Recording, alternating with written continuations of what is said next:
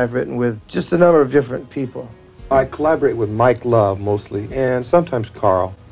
I wrote with Van Dyke Parks more than anyone else. He's my favorite collaborator. Initially, we wanted to do an album called Fade Away. But we don't work as much anymore. I wrote lyrics for Greg Wheeler.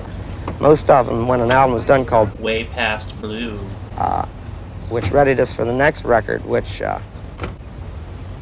still is an unexplained event. I don't understand it. It was just after the Black Candy. we're in litigation with Capitol Records. Age 23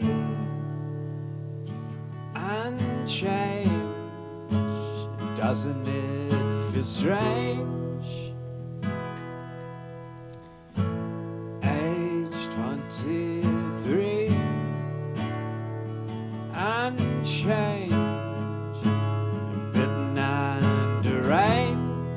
Like painters in the sun. Watch those colors run. Watch them run.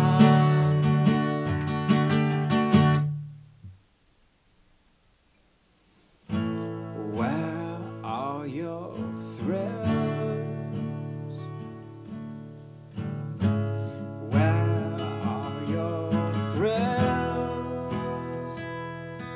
I wasn't close enough to the other guys. I was in a position of defending my lyrics. It went from uh, Dingwoody Pearl, Hang Ten.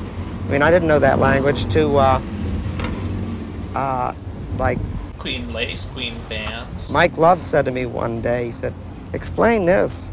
Like Painters in the Sun. Watch those colors run. And it was an American Gothic trip that Right. and I were working on. I said, "I don't know what these lyrics are all about. They're unimportant. Throw them away." And so they did.